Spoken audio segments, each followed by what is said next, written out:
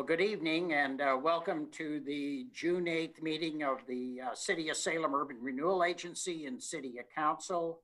Uh, We're going to begin uh, calling to order the Urban Renewal Agency.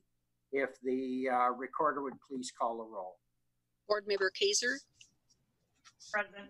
Board Member Andersen, Here. Board Member Nanke, Here. Board Member Leung, Here. Board Member Ausec, Here. Board Member Hoy, Here.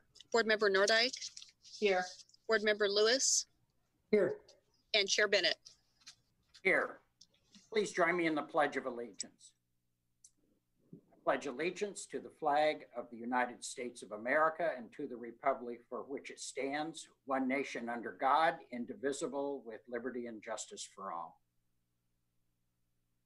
Okay, approval of additions and deletions. Do we have any, Counselor Hoy? No, we do not, Mr. Mayor. Okay, thank you. Uh, the consent calendar then. I move approval of the consent calendar Second. Second by Kaser. and the consent calendar includes item two point one A, the draft May 26, 2020 Urban Renewal Agency minutes. Item two point three A, a a funding for State Street two-way conversion project. And that concludes the consent calendar. Great, just a simple yay on the two-waying of State Street. That's been going on for a long time. Just glad to see it moving forward. So thank you. Uh, all those in favor of the uh, motion, say aye. No, that's right. We're going to do a roll call. Okay, You Board guys Member, just don't want to make it easy, do you? Board Member Nanke, Aye. Board Member Kaser, Aye. Board Member Ausec, Aye. Board Member Hoy, Aye. Board Member Nordyke, Aye. Board Member Lewis, Aye. Board Member Leung, Aye. Board Member Andersen, Aye. and Chair Bennett. Aye. Right, motion passes. Uh, we have a public hearing on the uh, 2021 Salem Urban Renewal Agency budget. The Who's Urban, gonna- Re- oh. Going to lead our, ah, The Urban Madam Renewal Agency will now hold a public hearing regarding the, the fiscal year 2021 budget. The hearing will begin with a staff presentation. Good evening, Mayor Bennett and board members. I'm Josh Eggleston, the city's budget officer. The Urban Renewal Agency Budget Committee recommended a budget to the agency board on May 13, 2020. The agency board is required to hold a public hearing on the recommended budget in compliance with state public budget law and the governor's executive order 20-16. This evening's public hearing was noticed on the city's website on May 29, 2020. There has not been any public comment received on the URA budget. Following the public hearing, staff recommends the Urban Renewal Agency Board deliberate on the Budget Committee recommended budget and direct staff to return on June 22nd, 2020 with a resolution to adopt the fiscal year 2021 Renewal Agency budget. At that meeting, staff may request the agency board to amend the fiscal year 2021 budget approval made this evening to include any rebudgeted purchase orders or carryover projects from the fiscal year 2020 budget, which staff are currently identifying. Thank you. Okay, uh, Counselor Hoy, do you want to make the motion to kick us off? I move we direct staff to return on June twenty-second, twenty twenty with a resolution to adopt the budget committee recommendation, recommendation. I'm sorry, the budget committee's recommended fiscal year twenty twenty-one urban renewal agency budget. Second. Second by uh, Nordyke. Okay, any, uh, any discussion? Okay, uh, if you'd please call the roll, Madam Recorder. If we could close the hearing, Oh, sorry. You didn't hear my bang. There, the hearing's closed. all right. It- Board Member Kaser, Aye. Board Member Ausec, Board Member Hoy, Aye. and that was Ausec. Board Member, uh, he did say aye. Board Member Nordyke, Aye. Board Member Lewis, Aye. Board Member Leung, Aye. Board Member Andersen, Aye. Board Member Nanke, Aye. and Chair Bennett. Aye. Motion passes. Okay. I don't see any further business for the Urban Renewal Agency, so we are adjourned. And we'll call then this meeting of the Salem City Council for June 8th to order. Uh, If the uh, recorder would please call a roll. Counselor Kaser, Present. Counselor Andersen, Likewise. Counselor Nanke, Here. Counselor Leung, Here. Counselor Ausec,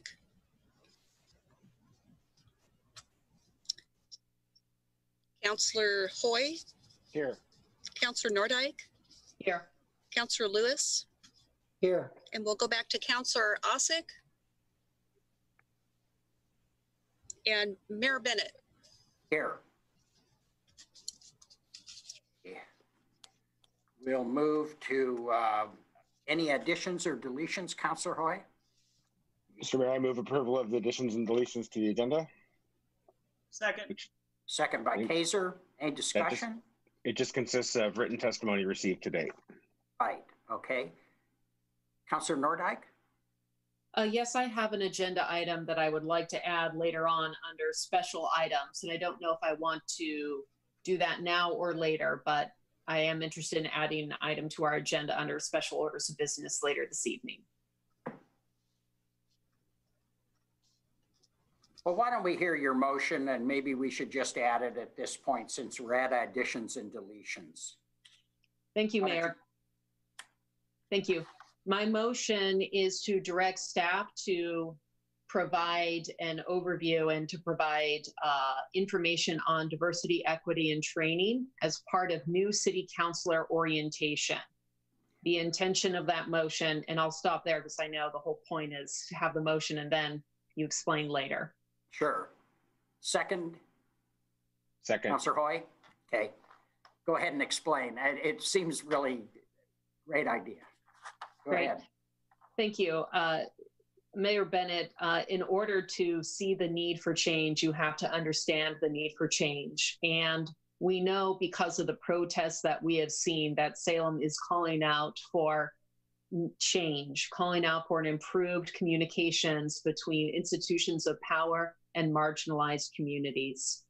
And one of the ways we do that is we educate decision makers on how to understand the importance of change.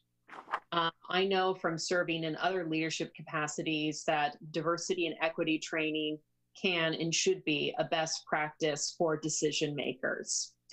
And I'm asking that we join the ranks of other institutions who have diversity and equity and inclusion training incorporated into new member orientation materials for all city incoming new city councilors. And to ensure that everyone is on the same page, I would like all city council members, not just new ones, to participate. And I would like Salem department heads to participate because a lot of decisions are made that impact communities of color and other marginalized communities that don't even rise to the level of council consideration. So my intention would be to direct staff and I want to work with staff on this to help identify training that would be suitable for this body and to in, to implement that training uh, when the new city councilors start having their new member orientation. That is my motion. Very good. Counselor Andersen, I see your hand. Yes, you did. I, I'm in favor of this motion, but I just want to make sure that we don't need the first to suspend the rules uh, uh, in order to pass it. I don't know if that's a question for the city attorney, and then I have another comment too. So the motion can be raised at uh, tonight's meeting, but uh, because it wasn't submitted earlier, it can't be voted on unless you vote to suspend the rules, and that requires a two-thirds majority. I move we suspend the rules to uh, uh, consider the motion. Second. Second by Leung. Okay, let's, uh, let's take the rule suspension first.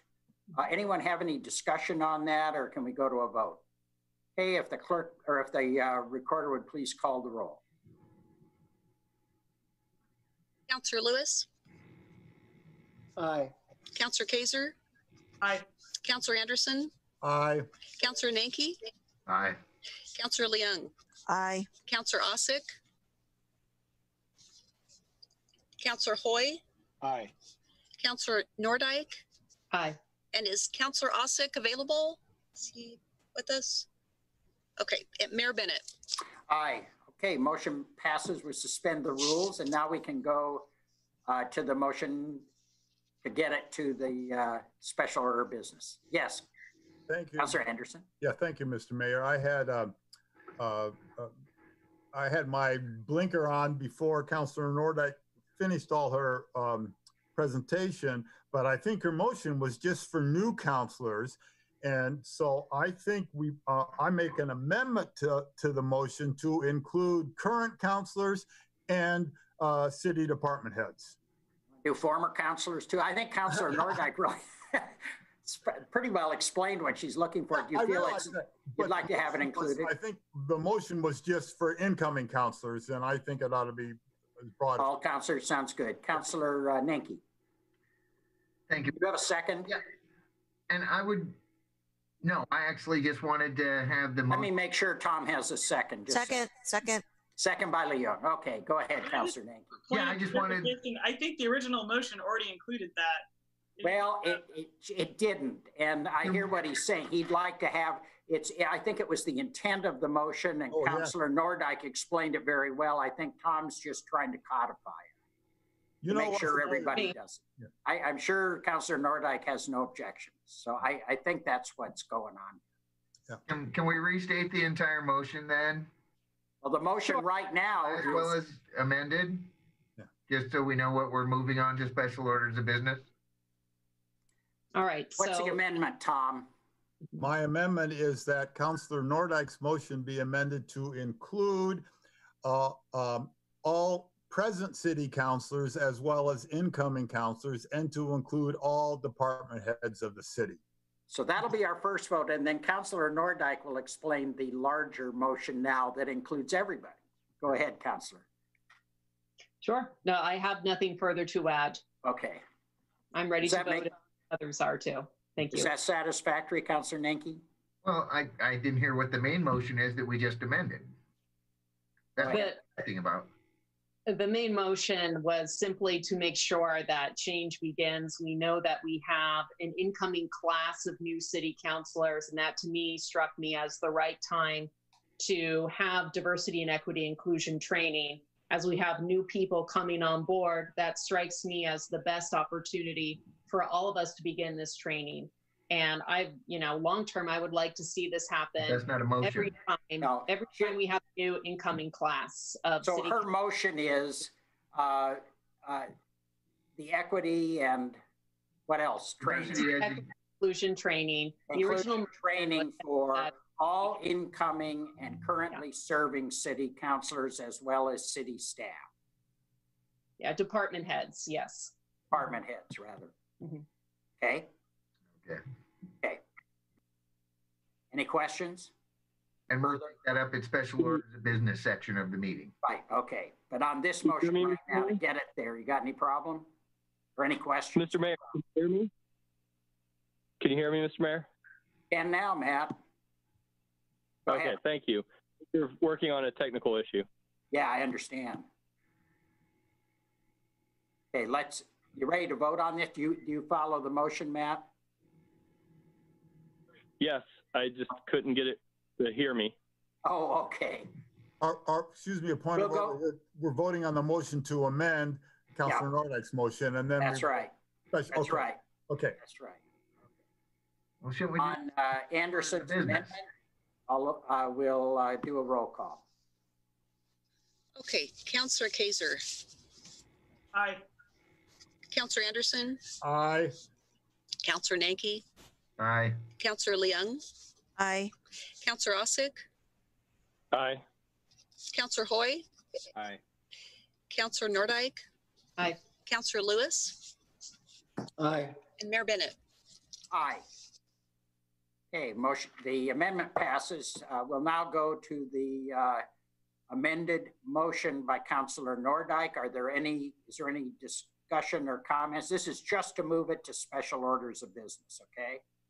We're suspending the rules to get it to special orders of business. Okay, let's do a roll call then. Counselor Andersen, Aye. Counselor Nanke, Aye. Counselor Leung, aye, Counselor Ausec, Aye. Counselor Hoy, Aye. Counselor Nordyke, Aye. Counselor Lewis, Aye. Counselor Kaser, Aye. and Mayor Bennett. Aye. Okay, motion passes. We'll take it up under special orders of business then. Uh, council manager comments. I'd like to call on Counselor Andersen. Thank you, Mr. Mayor.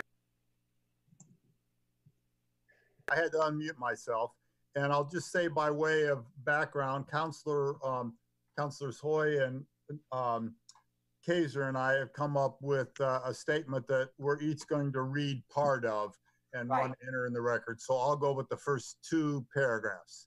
And who'll go, who'll go next? Hoy? Uh, yes, Hoy and Kaiser last. You'll call on each other to kind of move your way through Yes. this? Excellent. Thank you.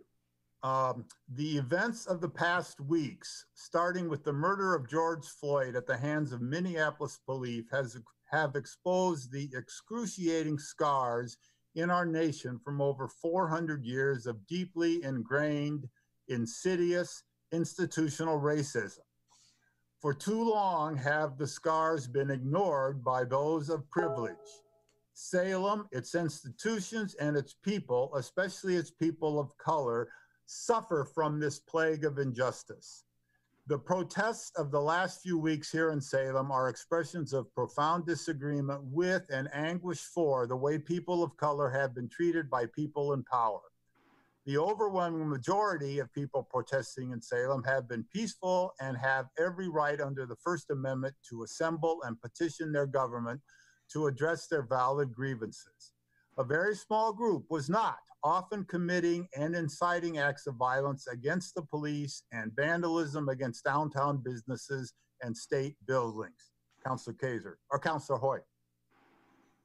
Another small group of persons downtown at the behest of local business owner created a much more dangerous situation by their openly carrying weapons of assault and death, placing the protection of property over life and attempting to elevate the Second Amendment to threaten harm to persons exercising their First Amendment rights.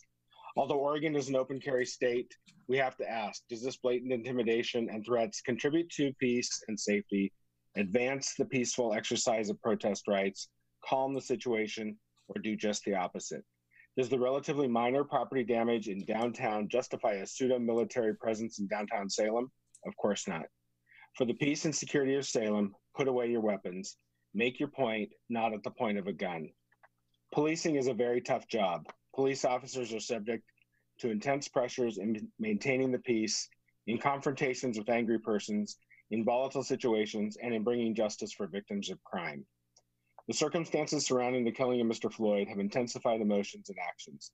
Like the protesters, the vast majority of the Salem Police Department have been professional, even-handed, and even-tempered, even-tempered, and respectful in their interactions with the protesters. Unfortunately, police officers, just like all of us, are not perfect and do not always use appropriate language to diffuse tense situations. This occurred in the police interaction with the gun-toting protesters in front of a private business. At Saturday's peaceful protest, attended by many members of this council, as well as thousands of others, Chief Moore apologized for the content of the message to the people with weapons downtown. We strongly encourage Chief Moore to ensure that the actions such as this do not occur again through a systematic review of policies and training that facilitate fairness, justice, and accountability. And we ask the city manager to ensure this occurs. Councilor Kaser. All of this points out what is needed in our city as well as in our country. We need more and better training for our peace officers in implicit bias and in ways to communicate with those in our community who have been denied their basic rights and humanity for too long because of the color of their skin. At the same time, our peace officers and our community must strive to send a clear message to the small segment of society that insists on promoting violence. We, as members of the City Council, are ready to stand beside our community and our police department in this moment in history to ensure we learn, grow, evolve, and do better moving forward. Excellent. Thank you very much. Uh, you, you really uh, spoke to a whole range of issues that are troubling to all of us and to the community. So thank you very much. That was that was really good. Uh, anyone else? Yes, Councillor Nordyke. Uh, first of all, if there was a way to sign off on that letter along with my other counselors, I would be honored to do so.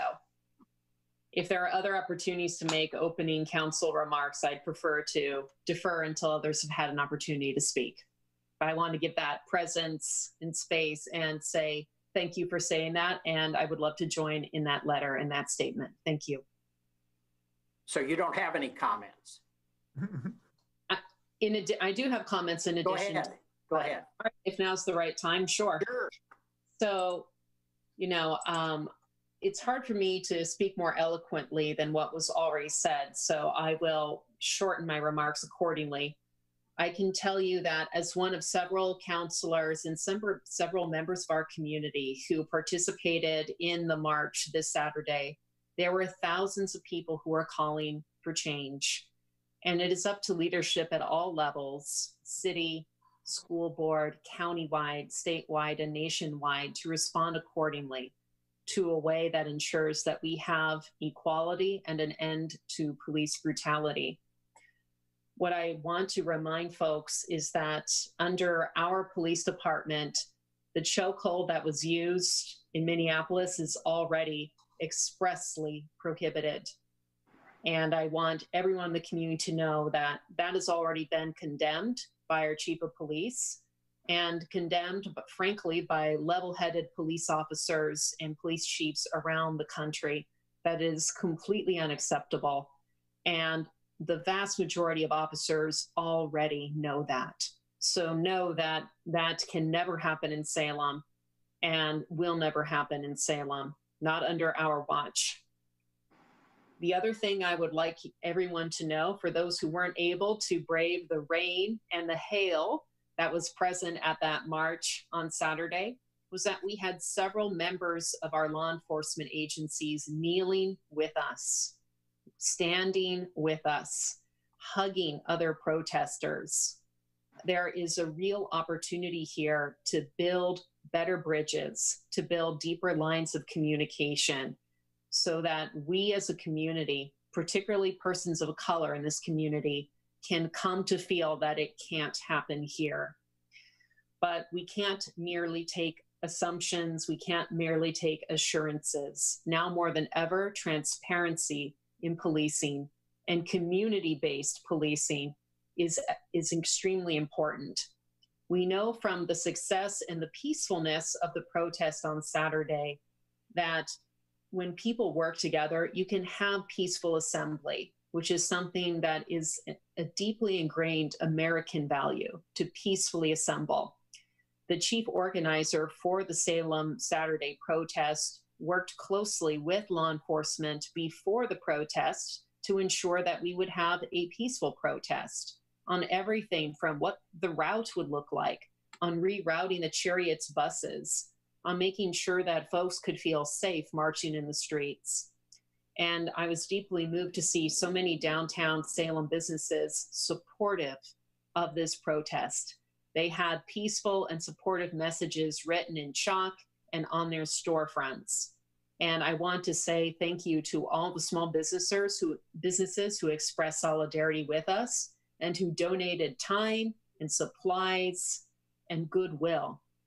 We also had a number of faith leaders present at this protest from a variety of denominations. Peace is non denominational, peace is not racist. And I think that there are lots of things that we can do here in Salem to show that when it does come for demanding change, there are ways to do it that build bridges. And so I think moving forward, the public has a lot of questions questions that have been unearthed because of what happened in Minneapolis. Questions about who and when are curfews determined? How are curfews decided? Are they applied equally to everyone? And what about equipment that police use? What are, what are the trainings that they use? As I understand it, this was the first time in pro, uh, we, we had tear gas use for the first time perhaps ever in Salem's history? What are the protocols for when the police can and should deploy things like tear gas? As indicated in my peers' statement, I believe we do need a systematic review of policies and trainings that facilitate fairness, justice, and accountability. I think transparency is our best friend. in the cause of justice and peace and overcoming racism. We do this by talking together. We do this by having trainings together. We do this by listening to each other. And I feel that this council is prepared to do so. And I look forward to our new peers joining with us. And hopefully we can work together on that. Our work is far from done, but I'm encouraged. And we need to now take all of the goodwill that's being generated by the peaceful protests and turn it into action at every level of government. So I look forward to having those conversations with members of the community, with my peers on council, with the police department, and how we can make this uh, even more transparent. Another suggestion I would have once we've had an opportunity to hear more from the community is have we thought about bringing more youth representation on board with groups like the Citizen Police Review Board? We saw a lot of young people turn out for these protests. They want to be heard, they want to be a part of the conversation. I think a simple way to increase their level of engagement is by ensuring that they have a seat at the table at the police review board. That's just one of the many things that we can do. I think whatever the next steps are, they need to be made with people of color in mind and with the police in mind. Our police know what our trainings and protocols are, and frankly, I do not. And so I want to learn from both our people of color and our police force on how we can ensure that we have good public safety that is equally accessible and fair to all. Thank you. Great, thank you, Counselor. Uh, Counselor Leung? Thank you. Um, thank you, Mayor. So um, there's a statement I would like to be able to um, convey. Um, so on Saturday, I also attended the March for Floyd um, event. It was attended by at least 2,000 people. I listened to others. I was also invited to speak. As the only person of color on the uh, city council right now, there are no words I, I have to describe what was like to be among the other organizers. Like other speakers, I spoke about injustices, not only for Floyd, but also for the numerous other Black men, women, and children who were killed due to racism and police brutality. This event was an accumulation of gatherings all week in Salem and that also was occurring throughout the country. The proclamation that's going to be read tonight is not enough if the words are not put into action. Our community is hurting and has been hurting. As counselors, we're elected by the people to represent the people. The proclamation provides pretty words on what we can do, yet does nothing to address what is going on outside of our homes, outside of council chambers. I want to be able to bring up three motions at our upcoming June 22nd City Council meeting. One of the first things that I have, I'm concerned with is public part, uh, participation. Um, since we have now um, moved our meetings to Zoom remote access um, is impossible for it's it's not possible for our community to participate in these meetings. I've seen larger cities such as Los Angeles and I believe even Portland now have an opportunity for people to participate in remote meetings.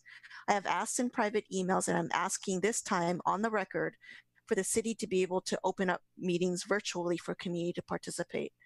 As a city, we're obligated to ensure that people have their voices heard. Not everyone is able or comfortable submitting written testimony. Some people want to be heard in person. And again, we've been doing this for months now. And I want to make sure that our community is actually able to participate. I want to be able to ensure that whatever it looks like that staff are, are able to come back with us even on by June 22nd, or if not by before then, an update on how we can ensure that uh, our community is able to participate. Second, I want to be able to bring forth a motion at the upcoming meeting that would direct the city to seek the termination of the contract with Salem Keizer School District for school resource officers. We have seen a significant number, there's been a significant number of research that mentions a presence of school resource officers increasing the criminalization of students of color, moving students faster into the school to prison pipeline. Instead, police who are neither trained or certified in counseling or social work carry on a traditional policing models, addressing perceived rowdiness and disorder arrests and surveillance of school children. A report from the ACLU called the Bullies in Blue details how schools, when staffed with police officers, administrators grow increasingly likely to defer to the SROs who then take a law enforcement approach instead of disciplining kids with punishment such as detention or in-school suspension. Again, one of the things that Councillor Nordyke had mentioned earlier was the inclusion of uh, police uh, youth youth advisory boards within the police department when that might be another way to engage with our youth while getting them also outside of the schools. Another issue that i also wanted to bring up was um, something that councillor nordyke actually mentioned earlier about chokeholds um, being condemned and not being allowed in the city. In previous emails i had asked the city manager about a program called eight can't wait I would like to be able to bring a motion at the upcoming June 22nd meeting to direct city staff to explore programs such as Eight Can't Wait to be able to, and for the city to consider joining the movement. Of cities in Oregon, only Portland participates in it. And of those eight areas of coverage, Portland is meeting five of the eight benchmarkers. After last weekend's events and from the ongoing concerns about holding police accountable, I think it would benefit Salem to have this. Doing so would hold police officers accountable and to improve public safety. So again, I would like to be able to bring forth that motion at our upcoming June 22nd meeting for eight can't wait. If we as city councilors in the state capital, we need to be able to put our feet where our mouth is. Well, that doesn't, say- that's, I didn't mean to say it like that. We need to be able to, Go to walk. Know what uh, you meant. Yes, you know what I mean by that. So Yeah. let's not do that part. So in other words, let's put forth what we're saying today into action to protect our communities. Good. Thank you very much. Anyone else? All righty, uh, Mr. Manager. Officer, sorry. Oh, Counselor I'm Officer, sorry. would like to say something? Okay. So I appreciate the comments that were put forward in the joint statement, and I wanted to add slightly to the detail of that general policy review and procedure review. And I appreciate everything that Councilors Nordyke and Leung said as well, that um, in general, the review of policies is a good idea, but there is one particular area that I wanted to call out, which is um, the difference in how threats are assessed by the police. In one instance, a group of protesters, largely peaceful, um, was treated uh, aggressively. One group who was intentionally meant to be intimidating was treated less aggressively. And I think what we need to understand is why threats are assessed differently in the city of Salem and address that because the vigilantism that has been seen in downtown Salem by armed men carrying heavy weapons is different than a peaceful protest with arms when they specifically call out the intention to fight back. And one of the things that has been called out specifically by our small business owners downtown was that they felt much safer hearing that a few people with non lethal weapons were going to march around downtown and potentially create property damage was much less threatening than hearing a bunch of people with heavily armed weapons were going to be marching around downtown defending anyone against that kind of graffiti or small property crime. And I want to emphasize how important it is to weigh the values of the community, which should be to protect life and liberty less than property. And that is the underlying value that I think that a lot of these protests are meant to address and that is sorely lacking in our threat assessment by police here in Salem and elsewhere. So, yes, in general, we need to review the policies and procedures, but very specifically, how do we calculate the use of force? When to intervene versus when to say these people are largely doing minimalistic interference in the community versus people who are actually threatening the lives of community members. Thank you. Thank you. Anyone else? Councilor, or uh, City Manager Powers? Thank you, Mayor. Clearly, the, the city has, has, has work to do as the events over the past 10 days uh, indicate. I, I've asked Chief Moore uh, tonight to provide a brief update to council as, as, as we will be bringing further information and updates to, to council and the community. So if Chief Moore could provide, please, uh, a brief, a brief update for council this evening.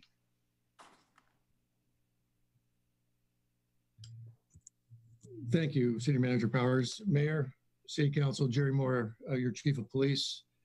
Um, as you know, we've had an interesting uh, 10 days here in Salem uh, since the uh, horrific uh, incident in Minnesota. And uh, certainly that is being felt all over this nation and clearly in Salem as well. You are probably well aware, if you read the newspapers, that there were a variety of marches and protests over the last uh, 10 days, uh, beginning on Friday, the 29th. Um, some of them have been uh, peaceful, some of them have been um, a little more antagonistic, and um, we have been present uh, throughout all of those uh, in, in some form or another. Uh, the, obviously, on Saturday night, uh, the 30th, I believe it was. Um, there was a, uh, uh, a protest and a march, if you will, uh, that was uh, originated on social media and designed for everyone to meet at 10 p.m. On Saturday night. Um, I will I will just summarize that that group marched throughout the city. Uh, the police assisting them by blocking traffic and directing them uh, in certain areas where they wanted to go or back to the Capitol building. At one point, uh, they tried to get back into the downtown area where we um, uh, stopped them from moving farther into town for a variety of reasons, uh, which included the concern that uh, property damage and other issues. And at that point, we were met with um, rocks and bottles and bricks and uh, uh, mortar fireworks at which time we responded uh, with flashbangs and tear gas to try and control the crowd, uh, ultimately uh, breaking that group up uh, about 2.30 in the morning, I believe it was. No arrests were made. Uh, Sa- Sunday, the, the next day, we also had demonstrations. on that particular day, a group was in town and um, took over a on-ramp on the Marion Street Bridge uh, blocking that. Uh, they also marched to the um, Capitol building where they sat or laid in on Court Street, blocking uh, uh the entire uh, inner uh, entire street for a considerable amount of time, and then later on marched through town again, armed with devices that they um, utilized against the police department as they were marching, and we also responded on that night. Uh, there were uh, 14 arrests made that night, and um, uh, and then uh, on Monday, uh, the first I believe it was, um, there was a peaceful march uh, that was organized by one of um, the young men that lives in our community, and it was a march from the Capitol building to the new police facility.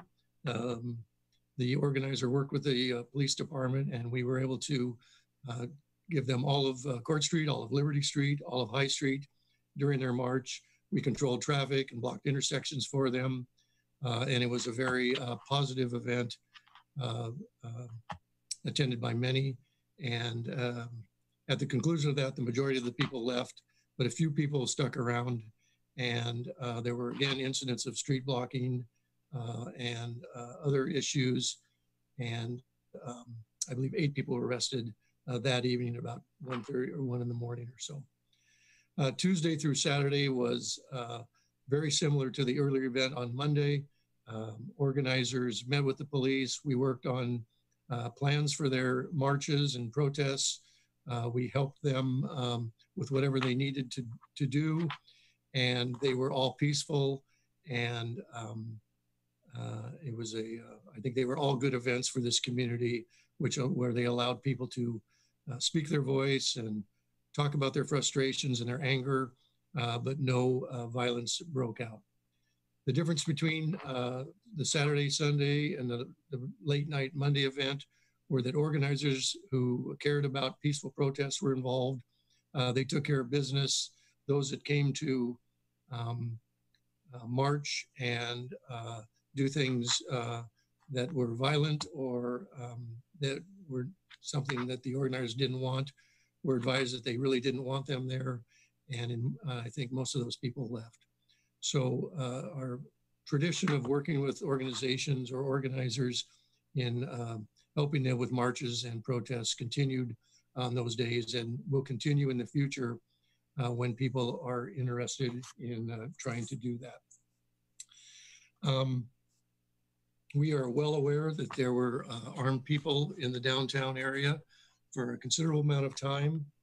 Uh, ultimately, we were able to um, uh, persuade that uh, that group of people that it was not their job to protect parts of the city; it was our job. And uh, through uh, discussion, they recognized that um, they were not wanted there, and they left. Uh, I will tell you, they caused uh, considerable concern for members of this community. Um, uh, people were intimidated by it and people were afraid of it. And uh, we uh, certainly um, uh, tried to communicate that information to them. And ultimately, they did leave the Salem area and have not been back since. As far as our actions that occurred in the last 10 days, I will tell you that uh, it is our intent to, um, and I'll address uh, some of uh, Councillor Ausec's concern. It is our intent to uh, review uh, and do after action reports on all of the actions that we took on each of those occasions. Uh, we will, we are swift to critique our actions. we look for what worked well, what didn't work well. We look at our decision making uh, I will tell you, it's easy to Monday morning quarterback decisions that are made uh, in uh, a moment of uh, when you need to uh, do one thing or the other. We will certainly look at the decisions we made and see how we, if we did what we thought would be best for the community. I will tell you in a summary that we had no looting, we had very little property damage. Uh, there were some assaults, uh, mostly among uh, different protesters, but we know um, we had no reported of injuries. And I can tell you, while there is not total agreement on on how we responded by some, I will tell you, um, it was the first time that we have been involved in something like that. It was much more violent than anything we had ever come across and I believe we responded in a responsible fashion. Uh, so I will leave it at that unless you have any questions. Thank you, Chief. So, Chief, I want to just uh, uh, follow up because I think it came up in, in a number of counselor uh, comments. Is the after action report the kind of evaluation you and I have talked about this over the past few days? And kind of uh, what do you see as a timeline to address specifically the police action, I, I'd be real interested in kind of how that will be uh, approached. And, and in light of comments counselors made about who's involved and how, how extensive is the group that looks at this, that kind of information. Get a chance to review that yet? Well, most of our, our after, after action reports are done internally where we uh, uh, right. self critique ourselves. Um, but we will uh, certainly provide a summary to council. And uh, I think, I know you would be interested in that. Uh, it's hard for me to give you a time frame because quite frankly, we don't know when these protests and these marches are going to end. And um, uh, I would hope it would be in the very near future. Uh, we'd like to get them done as soon as we can. Uh, but I, am hesitant to give you a date that we will be coming back to you, but we will try and do it uh, in a reasonable time frame. I'm sure you hear the urgency of this uh, from the council uh, and from the community. So I, I just, I know you hear it. Remember it and think of us, okay? Absolutely. Mr. Mayor, Well, Who's, who's asking? Matt? Councilor. There he is. Okay. I just wanted to say there was one specific incident that an after action report might be more uh, valid in a short term window as opposed to the whole time period. And if that could be advanced more quickly than the others after the whole thing is over, that would be great. And you're referring to, I think we all know the incident with a particular officer that has been on social media everywhere.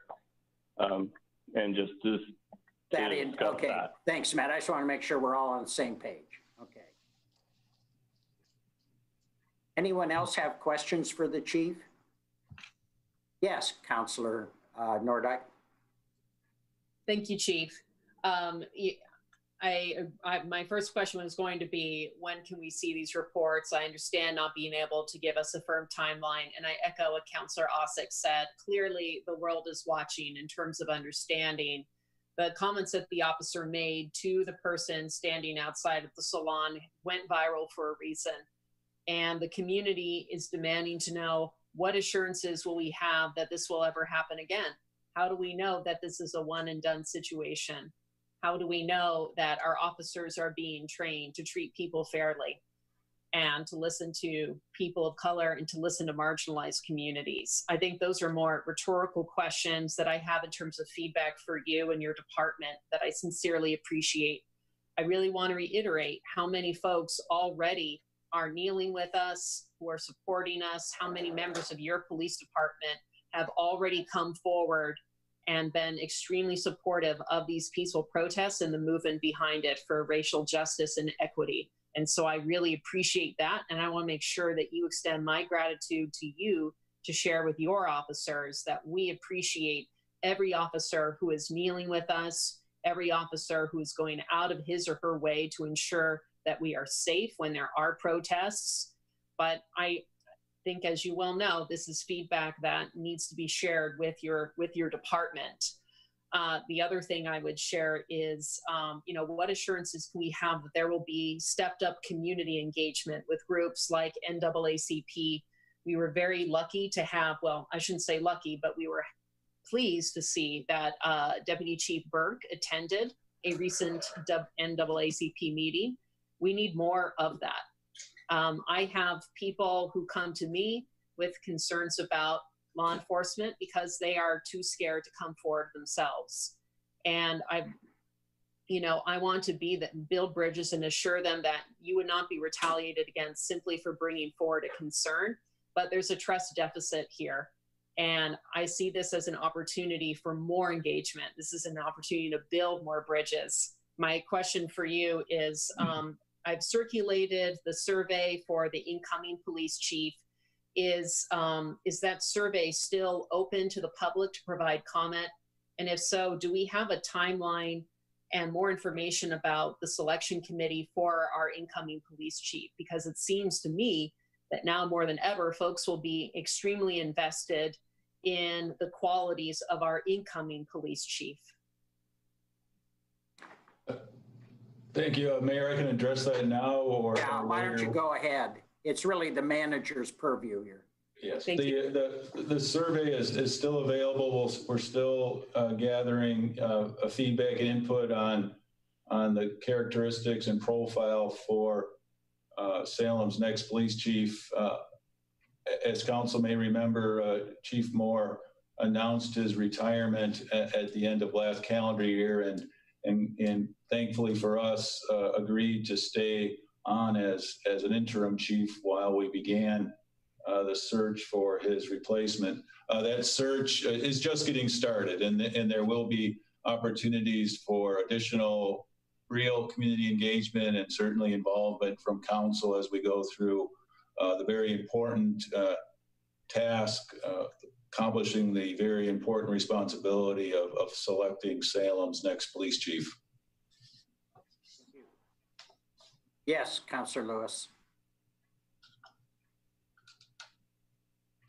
I'm uh, struggling for the right words to use, but I want to address comments to to Jerry Moore, not not as police chief, but as a lifelong resident of the city of Salem. And I am sorry for the pain that has been brought to you through no fault of your own. At the end of a career that is stellar, and yet you still volunteer to continue. I am one person on this body that, that is extremely grateful for the actions that the Salem police have taken over the last 10 days. The situation that we found us in with competing forces that both wanted to do damage and to keep that neutralized shows an effort that is absolutely outstanding. And I just want you to know that I, as a person, and I believe I represent at least my ward, with the gratitude for your work and the work of your officers. Thank you, Thank you, Council. Counselor. Thank you. If I could, Mayor, just very briefly. You bet. Um, On Counselor uh, Nordyke's comments, uh, I'm sure she uh, is aware, but she may not be.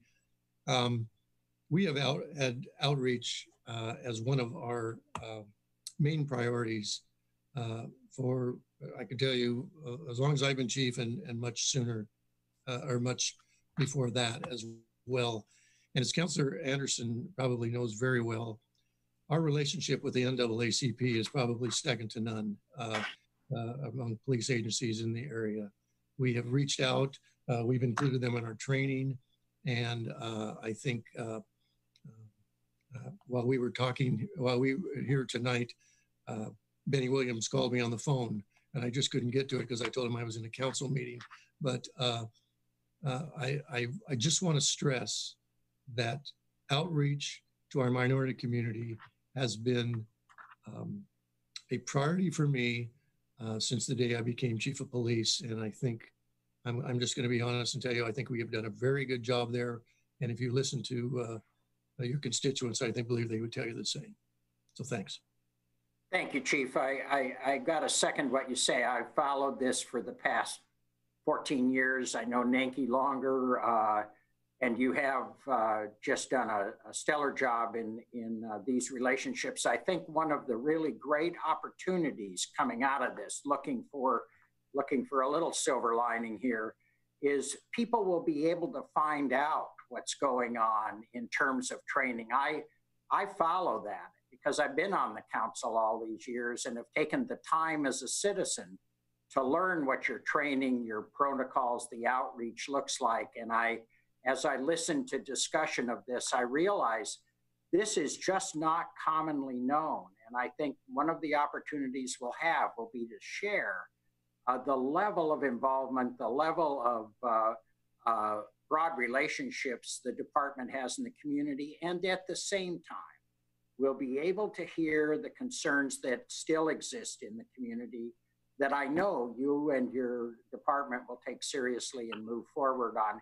If there's corrective action, if there's changes in policies and protocols, equipment, whatever it takes, uh, I, I, that I think is is uh, uh, one reason I think there will be a, a, very positive outcome from what is right now a, a really uh, demanding situation. Councillor Nanke.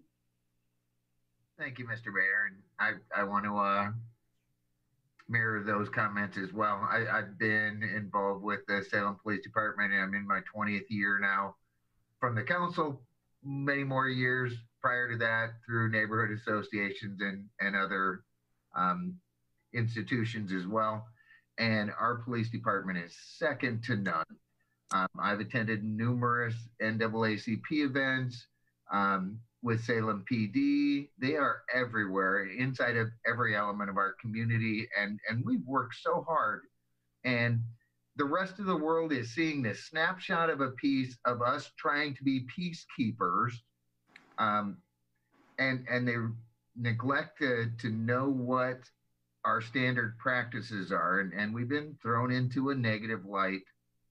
But what I what I will tell whoever is watching tonight and whoever watches this in the future as well is our police department is second to none in the way we care for our people and the way we attempt to keep the peace. And sometimes you have to do that by any means necessary. Um, it, it was tragic over the last 10 days that we actually had to, for the first time, um, utilize some measures that we've never had to before.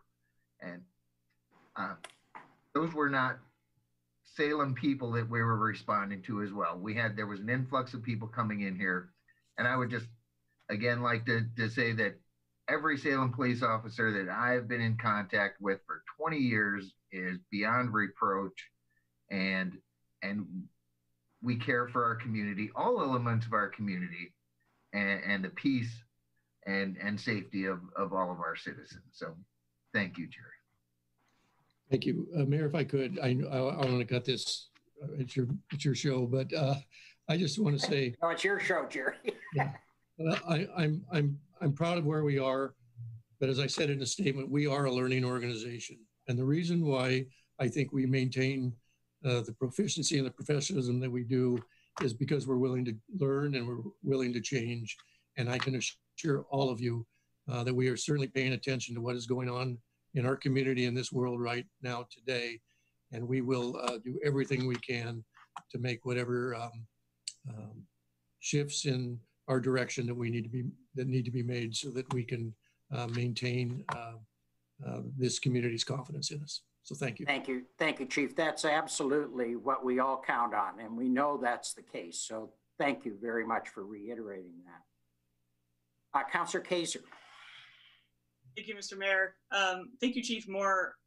I wanted to just follow up on the point you just made that um, strong organizations question themselves um, all the time and improve. Weak organizations don't. Um, and I also believe that to have a strong organization is you do have to have those resources that you need to do to do the job well and to and to learn from that. Um, and I think we can see when we have removed those resources from places, things start to fall apart um, because there's no investment in that anymore. Um, and I certainly want to continue to investing in our police department, in our fire department, and all of our city services. I also want to expand where we can. I think um, I think police have been asked to do a lot um, over the last 20 years. It's really changed the nature of policing and community policing. I think we've seen huge disinvestments in things like mental health. Again, we keep coming back to this as a state, disinvestment at an incredible level. As a county, disinvestment, and now who's left to pick it up? It's the city. And where has that fallen? It's fallen within the police department largely. Is that the right place for it? Probably not. Is that what we have right now as our mechanism? Yes. Should we perhaps reevaluate that? Yes. Are we going to do it within a week? No.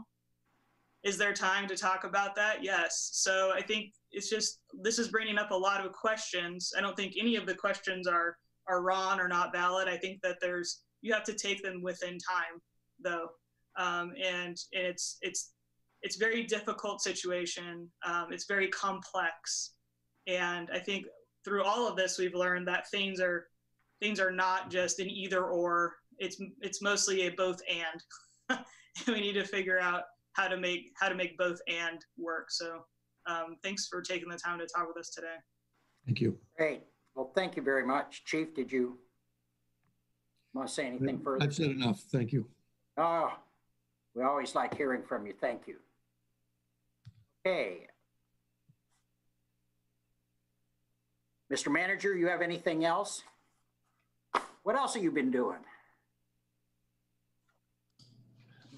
Nothing else to share this evening. Okay, great. Okay, I have proclamation. Whereas the city of Salem at all times strives for justice, freedom, and equity, and whereas the city of Salem reaffirms the personal liberties of all its residents and does not tolerate any violation of anyone's civil and human rights, and whereas peaceful assembly and protest for those wishing to lift their voices as a way of expressing concerns after the recent death of George Floyd is fully supported and deemed appropriate by the city. And whereas we as a city acknowledge that the road to true equity remains long, the devastating and senseless loss of life because of the color of a person's skin demands that we all look inward and dedicate ourselves as agents of genuine societal change.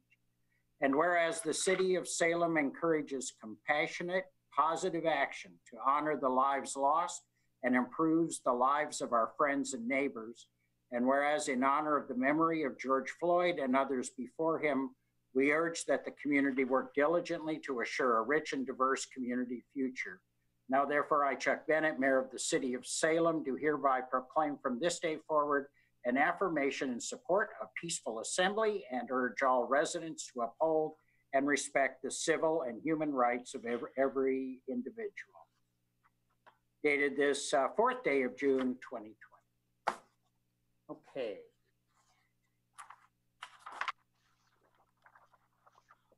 I'm sure we'll be talking about this issue more in the future. I think as we begin incorporating some of the suggestions we heard tonight uh, into actual uh, action items and begin uh, moving it forward.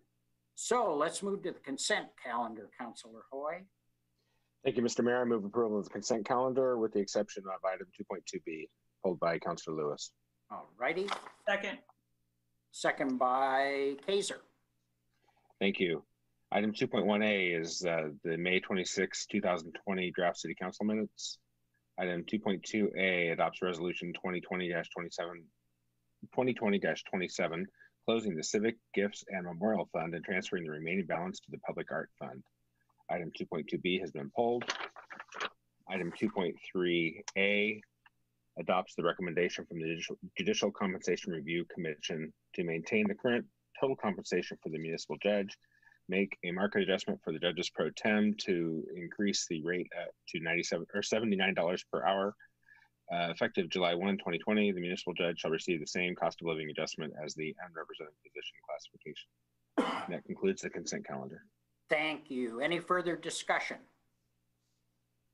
If the city recorder would call a roll. Counselor Nanke, Aye. Counselor Leung, Aye. Counselor Ausec, Aye. Counselor Hoy, Aye. Counselor Nordyke, Aye. Counselor Lewis, Aye. Counselor Kaser, Aye. Counselor Andersen, Aye. and Mayor Bennett. Aye. Motion passes. So we'll go to public hearings. I'm going to open the public hearing on state revenue sharing funds. City recorder? The City Council will now hold a public hearing regarding state revenue sharing funds, and the hearing will begin with a staff presentation. Good evening, Mayor Bennett and City Council. I'm Josh Eggleston, the city's budget officer. To receive state revenue sharing funds, the city is required to hold two public hearings. The first public hearing to discuss the possible uses of state revenue sharing was held by the Budget Committee on May 6th. This evening's public hearing, which covers the proposed uses of state revenue sharing funds, was noticed on the city's website on May 29th. The proposed use of the state revenue sharing funds in the amount of one million nine hundred and seventy-four thousand one hundred and thirty dollars as recommended by the Budget Committee is an offset to the cost of provi- providing police patrol services. City Council approval of this proposed use is signified by adoption of Resolution 2020-25. Thank you. Thank you. Any questions for staff? All righty, I'll need a, I guess I'll close the public hearing and Counselor Hoy. Thank you, Mr. Mayor. I move adoption of resolution number 2020-25, electing to receive a share of certain revenues from the state of Oregon General Fund. Second. Second. Second by Ausec. Ausec. Thank you. Okay. If you'd please call the roll, City Recorder. Counselor Leung, Aye. Counselor Ausec, Aye. Counselor Hoy, Aye. Counselor Nordyke, Aye. Counselor Lewis, Aye. Counselor Kaser, Aye. Counselor Andersen, Aye. Counselor Nanke, Is it? Try it again. oh, Counselor Nanke, Aye. There we go. and Mayor Bennett. Aye. Motion passes. Okay, uh, open a public hearing on the 2021 City of Salem budget. The The City Council will now hold a public hearing regarding the fiscal year 2021 City of Salem budget. The hearing will begin with the staff presentation. Oregon Public Budget Law requires the Budget Committee to recommend a budget to the City Council, which it did on May 13th. Change, changes were made via errata sheets approved by the Budget Committee to the City Manager's proposed budget provided as attachment one. The City Council is required to hold a public hearing on the recommended budget. Notice of this public, this evening's public hearing was published on the city's website on May 29th. Following the public hearing, staff recommends the City Council deliberate on the recommended budget within the restrictions provided in law, which are property taxes cannot be increased from the rate levied by the Budget Committee, and no funds expenditures can be increased by more than 10%. Within these restrictions, the City Council may make changes to the recommended budget. Following deliberations of the budget, the City Council is asked to approve any changes to the budget this evening to allow staff to return with a resolution to adopt the budget on June 22nd. At that time, Righty. Oh, I'm sorry. Are- you done, Josh? I, uh, almost, at that time, uh, Sorry. staff- no, no worries. At that time, staff will ask the city council to amend the budget approval made this evening to include any rebudgeted or carryover projects from fiscal year 2020, at which staff are currently identifying, as well as any other appropriation needs. A complete list of carryover items will be included in the fiscal year 2021 budget will be provided to the city council with the agenda packet for the June 22nd, 2020 meeting. I would like to note that while real-time public comment is not available, multiple pieces of testimony have been received and are available in your agenda packet this evening. Thank you. thank you. Are there any questions for Josh? Okay, I'm sorry, is this just the fee schedule? This is the Counselor budget. Ausec? Well, I thought the agenda item was the fee schedule for the budget. Did I read that wrong? No, the fee schedule is under special orders of business. It was pulled off of the consent calendar. Oh, thank you. Okay. Thank you, Counselor Hoy. Um, Any, any other questions? Counselor Hoy? Thank you, Mr. Mayor. I move, uh, we direct staff to return on June twenty-second, twenty twenty with a resolution to adopt the budget committee recommended fiscal year twenty twenty-one City of Salem budget. Second. Second, Second by Lewis. Excuse me, Mayor, if we could close the public hearing. Well, uh, Close public hearing. Let's try it again. God. Do I need Okay, to we got, we have the again? motion, we have the second, now we'll have the vote, okay? Everybody okay? Counselor Osick, Nay. Counselor Hoy, Aye. Counselor Nordyke, Aye. Counselor Lewis, aye. Counselor Kaser, Aye. Counselor Andersen, Aye. Counselor Nanke, Aye. Counselor Leung, Nay. and Mayor Bennett. Aye. Motion passes. Okay.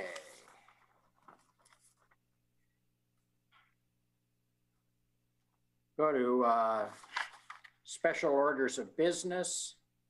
Uh, Counselor Lewis, you pulled Yes. uh, 2.2B. Right.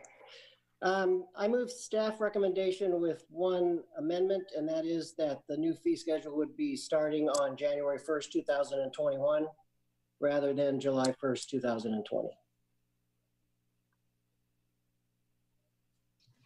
I'll second for discussion.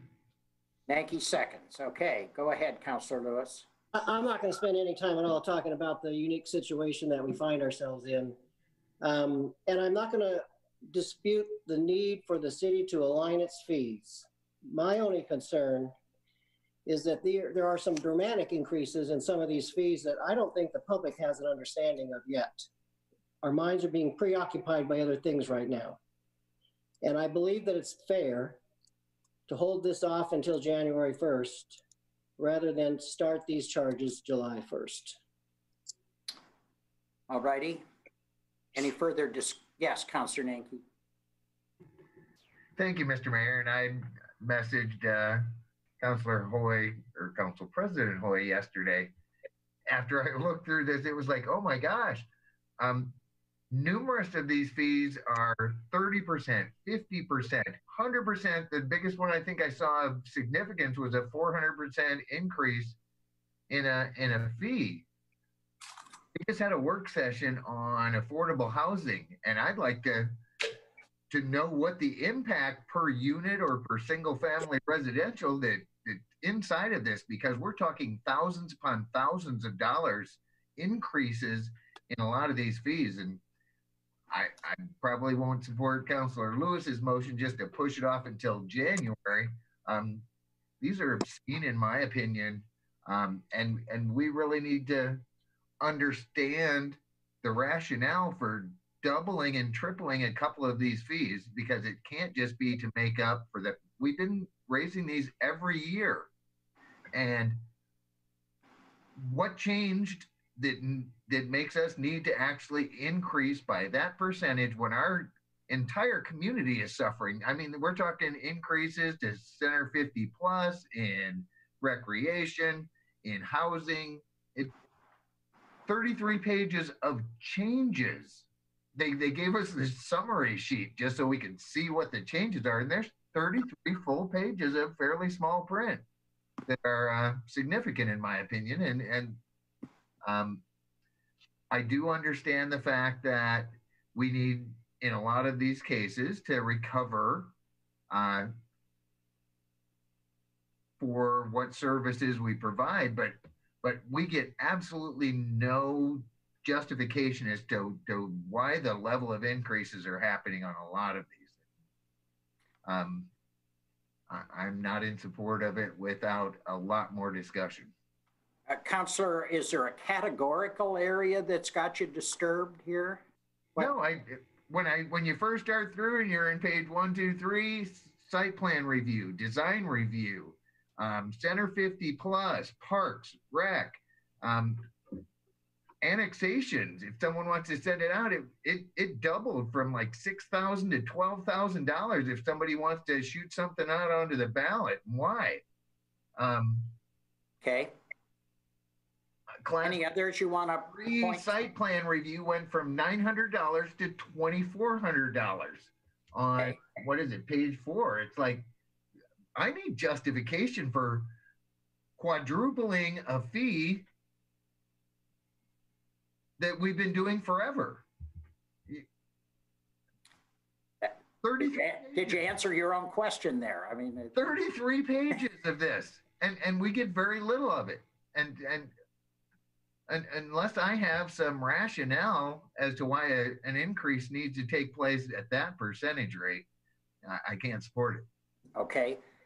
Mr. Manager, you want to speak to the counselor's questions and concerns, either specifically or generally? Uh, Specifically, because generally, I think the comments from Counselor Lewis and Counselor Nanke are, are accurate, and that is the fees are intended to, to have the people benefiting from services pay for those services. Regarding the specific fee areas, uh, we can start with community development, and Community Development Director uh, Norm Wright is, is prepared to uh, try to answer the, the questions that are being brought up. Okay. Mr. Wright? Yeah, hi, Mayor. Norman Wright, Community Development Director. And so, uh, Councilor Nanke, you mentioned a few different fees there. And uh, you also mentioned an interest in understanding the rationale behind these. So I'll just start with the rationale. And uh, there may be some uh, additional uh, information that we can provide on a specific fee in particular. But our rationale starts with the fact that we uh, are seeking to achieve 100% cost recovery for all of our development review fees in the same manner for planning that we already see for building and safety. And so every one of the fee increases that you see on that sheet that relate to building and planning review fees are an essentially calculated at the start by careful accounting of all the staff time that is dedicated on average to each one of those services. In the instances where you find that we have significant increases, Uh, there can be a number of reasons for that, but again, by and large, this is reflective of the staff time that is committed to each one of those. Now, to give just a brief example of how this can be also a benefit, uh, certainly there are instances where we have gone from practically only half to maybe three two thirds of cost recovery to 100% cost recovery, and that has created an increase in the fees. But there is one instance in particular that I want to highlight where this rationale cuts both ways, and that is with our multifamily development review. With the new multifamily standards that the council adopted just earlier this year, uh, we have effectively created a new path for applicants so that they can submit applications for multifamily development that no longer require what would be considered a class three review. That policy change creates a new, more efficient process for both staff as well as the applicant. And that now can save those individuals anywhere from $1,800 to $2,800 on a particular application and fee. So, again, when it comes to the rationale here, the rationale is that the staff time is pretty substantial as well as the uh, notification costs for mailing notices. But where policy does create new flexibility, we also create flexibility in the fees and reduce those fees accordingly. So um, it might not be as easily reflected there, but what we're doing again is trying to recoup the costs for the service, deliver the best we can, and keep improving it so that we can drive those costs further down over time. I hope that's a good help in starting to understand our, our rationale. As a, as a general matter, where do we sit in comparison to other communities in the development fee area? Are we in the middle? Are we at the low end, high end? Where are we?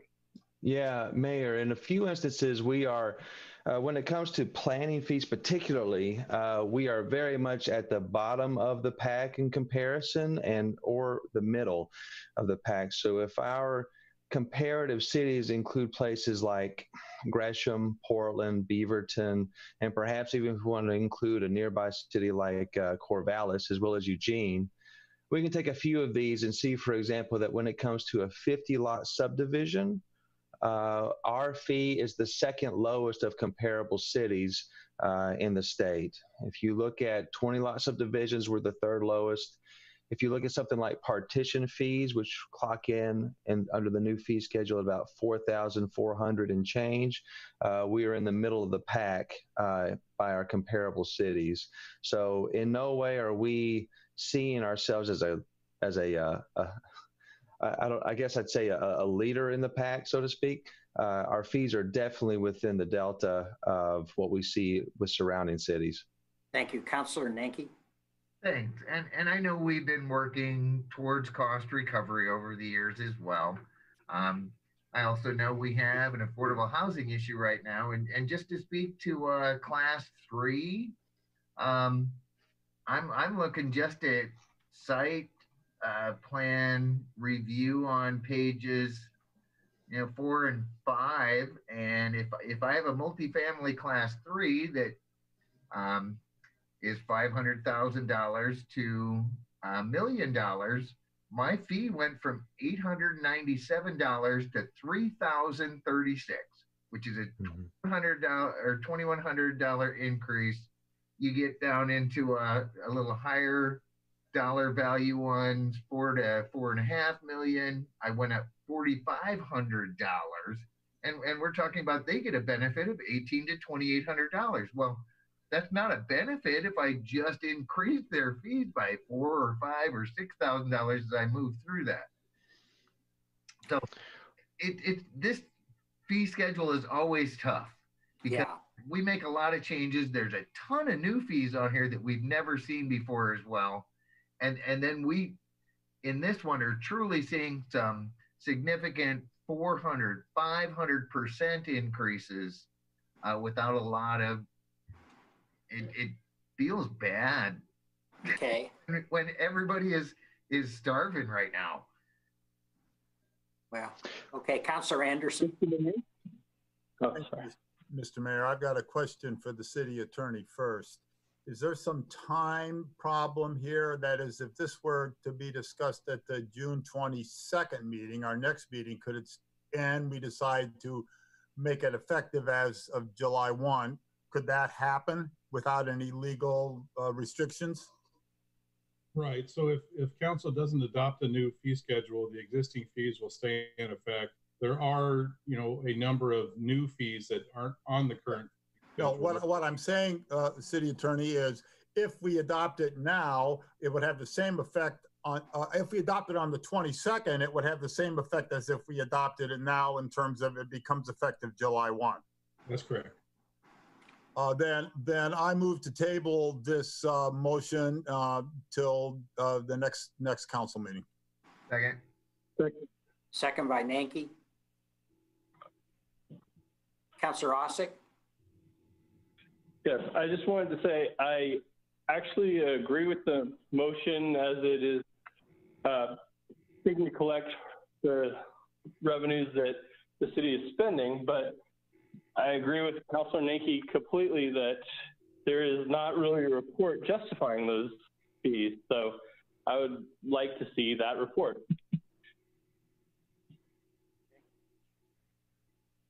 Isn't a, a motion to table not debatable? Yeah, I just let Ausec speak for a second. He, I keep overlooking him, so I felt compelled. I apologize, but it, it's unfair what's happening because he's just on the phone. I was actually your second, Tom, I think.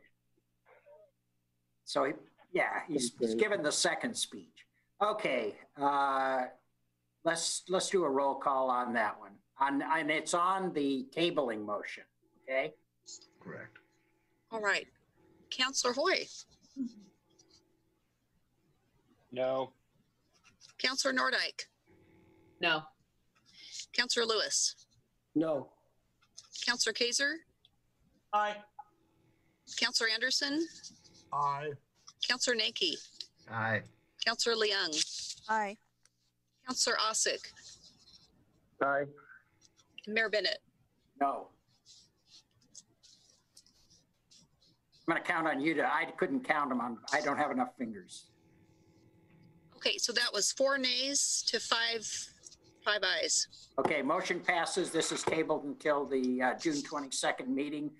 Mr. Manager, I would suggest if there is a staff report that kind of summarizes all of this that has not reached the counselors that are, all of us, I guess, uh, that would be really helpful. Thank you.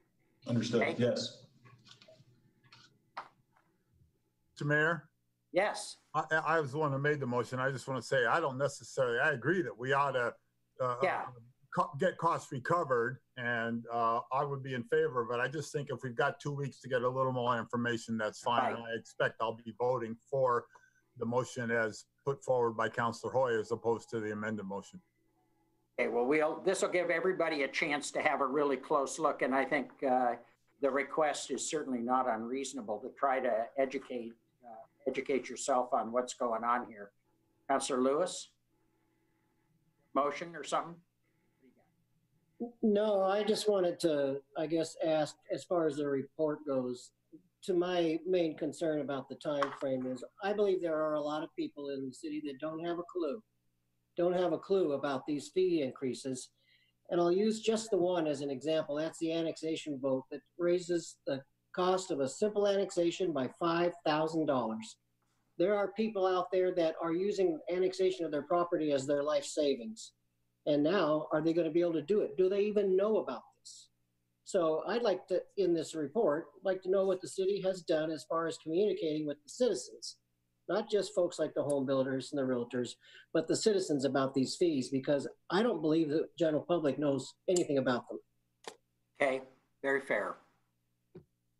Okay, we move on then to information reports. Mayor. Yo, I have, I actually have a special order of business. oh, I'd like to bring forward a motion. And I actually have two motions to make, so kind of segue. okay. Counselor, there, there's a problem here. We need, if, when you guys want to do these motions, you need to turn them in earlier so we, everybody gets to see them and then we, they, they get scheduled. Uh, what, I believe this that? motion's urgent. And well, yeah. once- once you hear it, you'll understand why.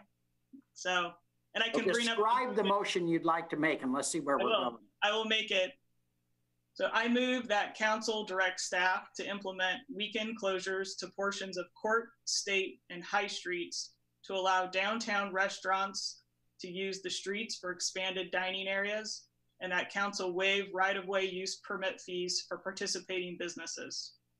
Second. And then I'd like to make a second motion, which is I further move that council suspend its rules so that council can take action on this motion tonight. Second. All righty, let's go on the suspension of rules. Everybody understands what we'll be doing here. This is so we can vote on this tonight. Um, And I, well, I'll I can call- speak to the first, This is just the suspension of rules at this point, okay?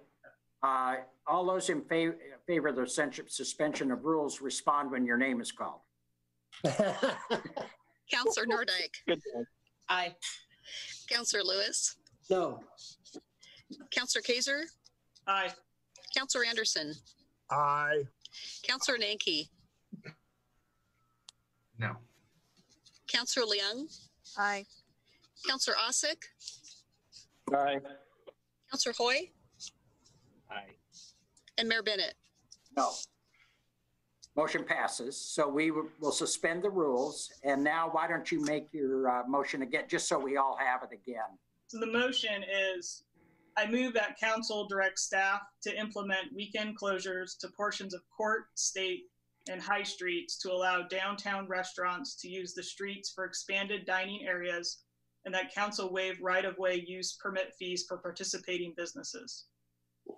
And that was second by Hoy. And I'll speak to my motion. Yeah. This is a request coming from businesses in our downtown who are severely hurting. And the reason why I bring it up tonight and why I, I couldn't get it on the, the um, agenda is I, I thought for a while that this was going to be done administratively uh, by the city manager. Um, it came to my attention pretty late on um, this week and over the weekend that we needed council action to do this and that it wasn't something that could be administratively done. Um, but this is coming at the request of many businesses downtown. I've spoken with um, the Salem Main Street Association, um, who is in turn speaking with about 15 to 20 businesses specifically. Uh, the businesses are a mix of restaurants and retail, and they are all supportive of doing this. And, and what it would entail is uh, closing some blocks downtown, starting on um, Saturdays at 6 a.m. through Sundays at 8 p.m. Um, and the locations would be Court Street between Front and High Street, um, State Street between Front and High Street, and then High Street between State and Ferry. And then all the intersections of those streets with commercial and Liberty um, and High would remain open for vehicles and parking and all of that. Um, and tentatively looking at doing this beginning this Saturday and going on through through the summer or until the COVID related restrictions are lifted so that our restaurants can have more people within doors. This is really, as I talked with, um, uh, as I understand it, it's really a turning point for us as to what we as a city are willing to do to help our downtown businesses. Um, this isn't a question of will what are the what are things going to look like next year? Businesses are really asking themselves am i even going to be here next year because of the revenue they've lost over the last three months with just having to be closed? Um, the reason for closing streets is to increase the space the square footage that businesses would have to serve their customers. Um, especially our restaurants they're limited to i think it's half of their seating so many of those restaurants are just they're storing their seating they've they put it in storage um, this would allow them essentially their square footage. They can bring out their seating and put it out on on the street. Um, summertime is where the our restaurants, especially in downtown retailers, they do most of their business in the summer because uh, people are outside and it's nice and you want to walk around.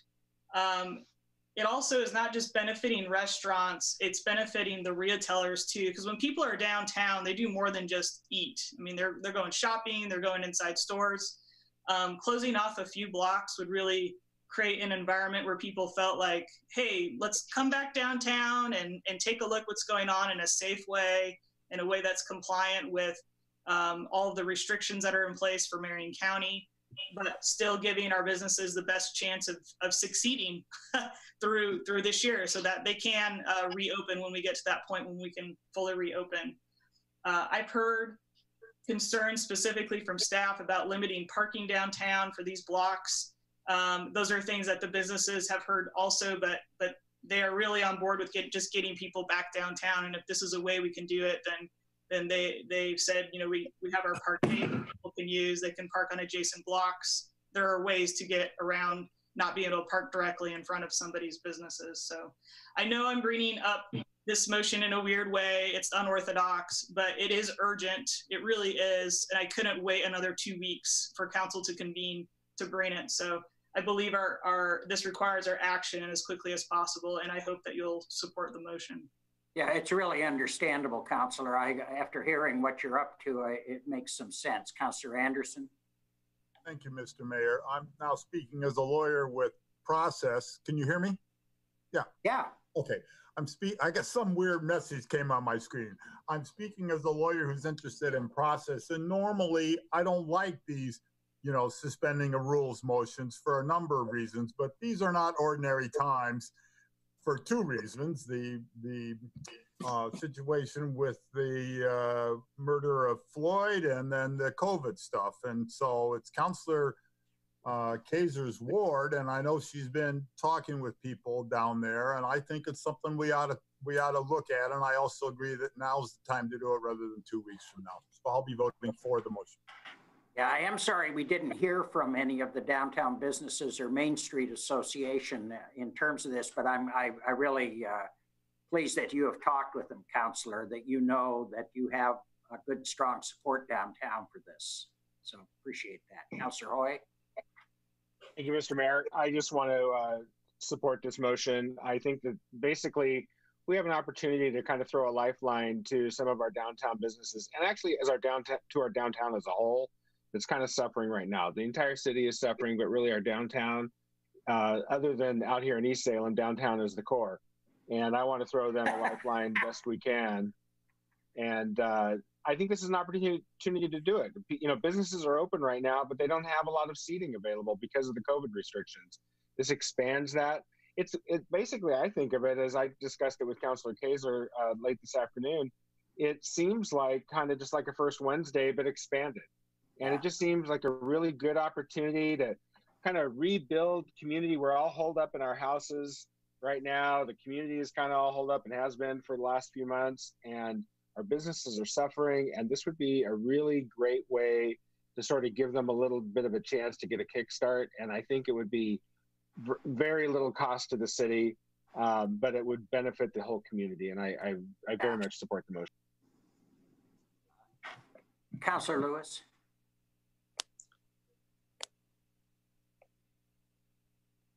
Sorry. Um, you know, I'm going to vote for the motion because I've been excited about this idea for over a month now when I first started hearing about it happening throughout the country.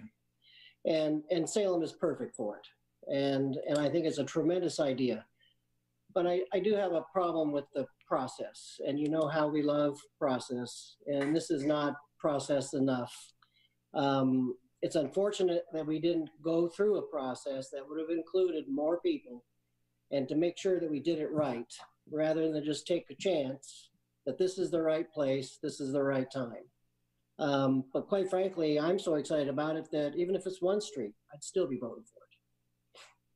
Well, think about the process, Councillor. You can just bring it up at the next meeting if, if we get a big, I'm sure Councillor Kaser will be monitoring this closely and will be glad to bring us a motion.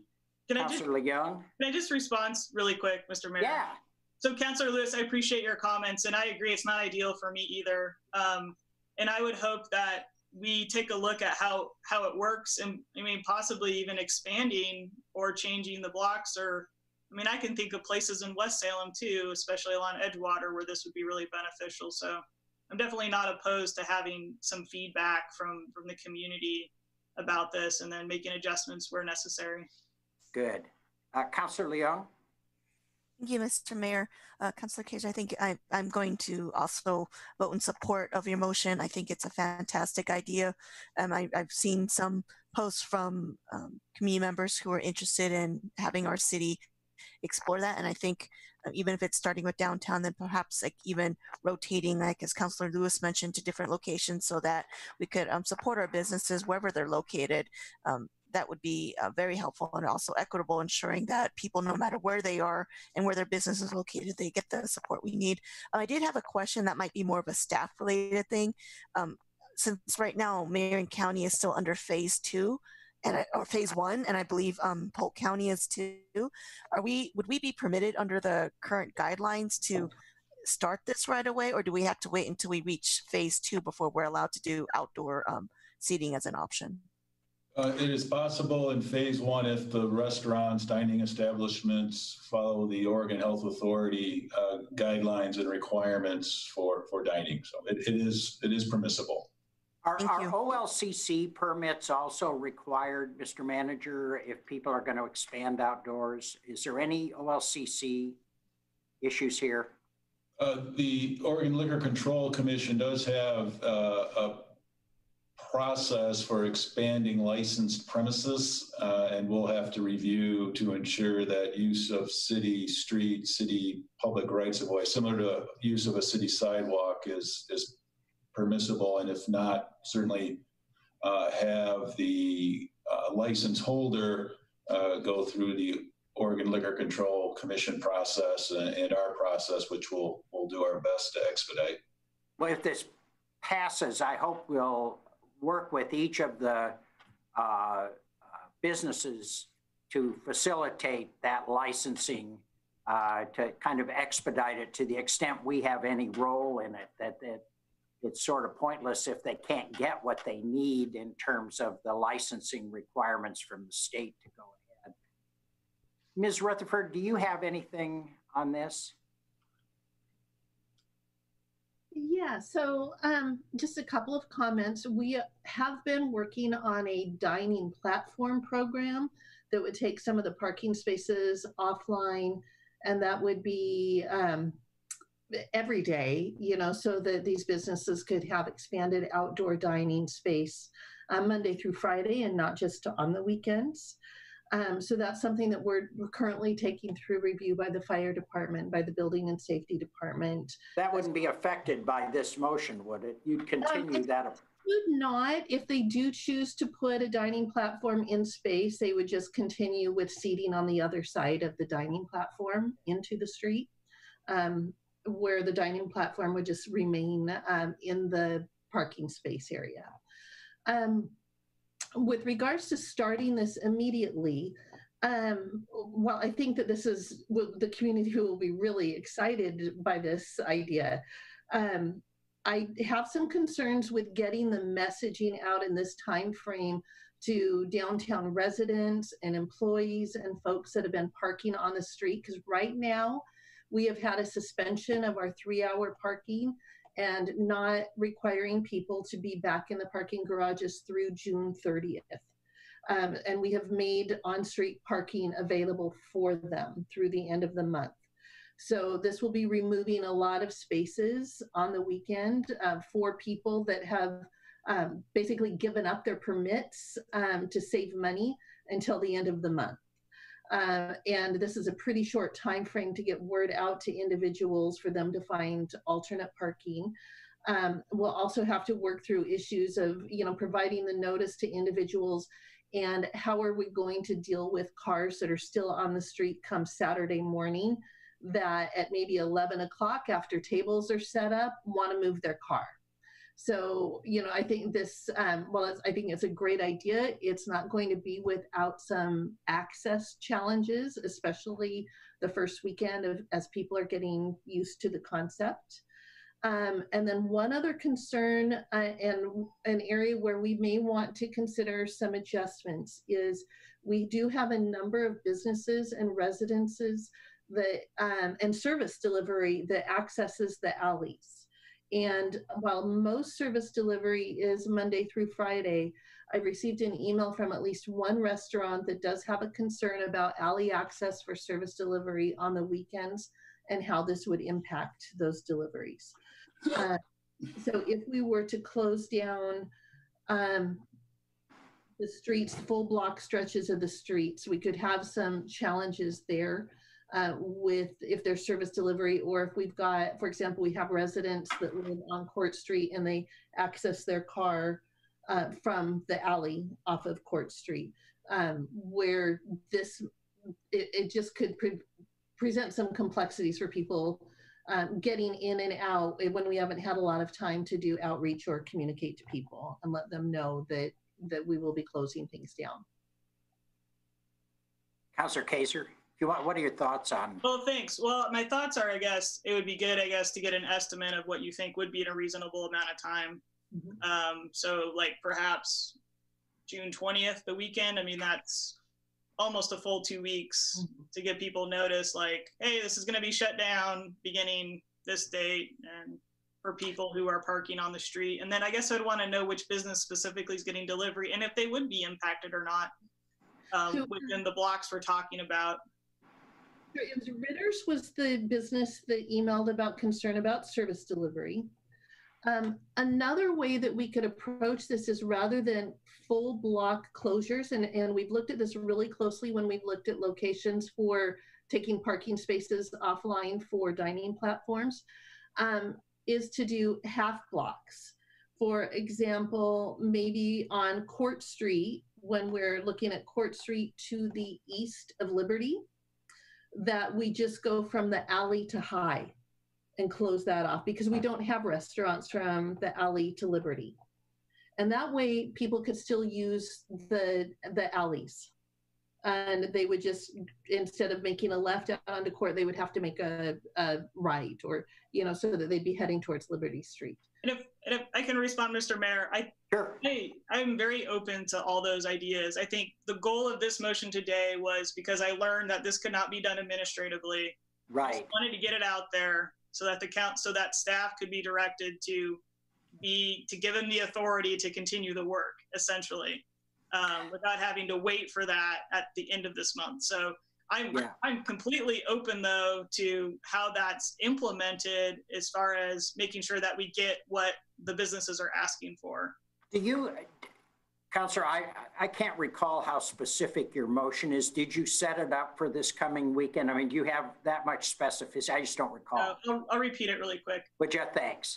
I move that council direct staff to implement weekend closures to portions of Court, State, and High Streets to allow downtown restaurants to use the streets for expanding, expanded dining areas and that council waived right-of-way use permit fees for participating businesses.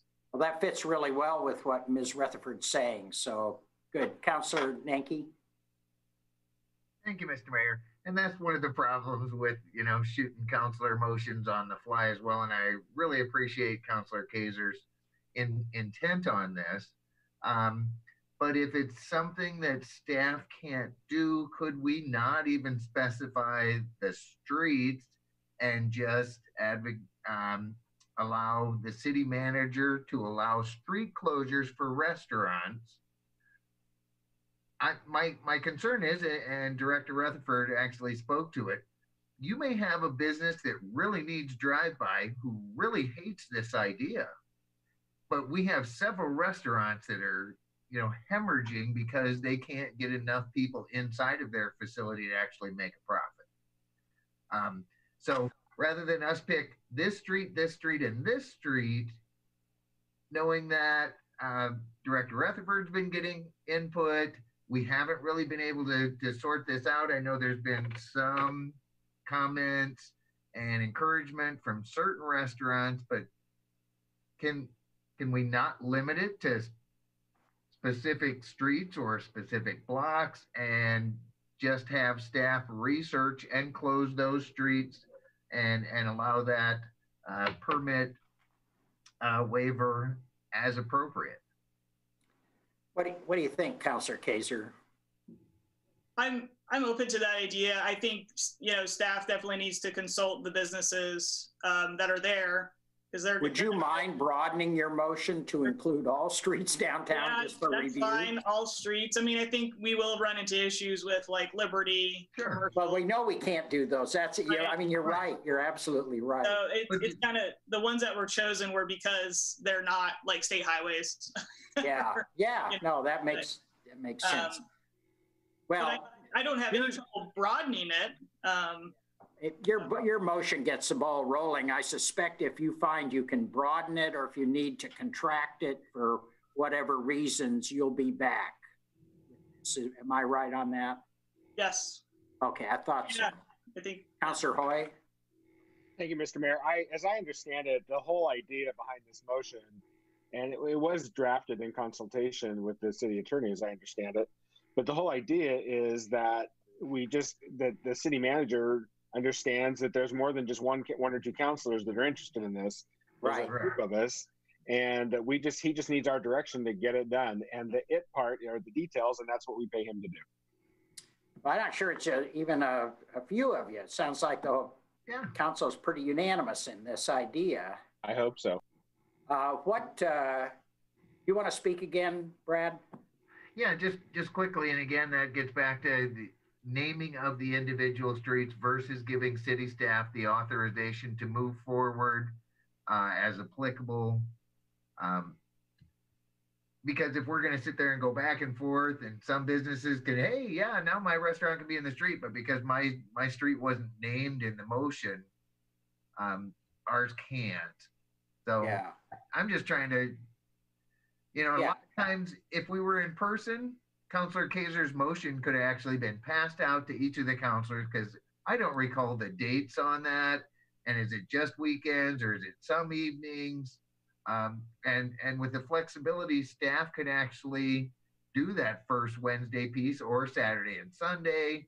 And it, it's giving staff the authorization to deal with business owners and allow them to expand their business opportunities um, as they see fit and as uh, will be acceptable to the rest of the community and the uh, the neighboring businesses.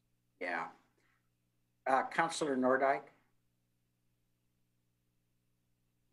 Thank you. I believe the motion is drafted with the intended flexibility to make it happen, and I look forward to supporting it. And on a related note, as I'm sure many of you saw in the paper, we have another a flagship store, J.C. Penney, leaving the downtown community.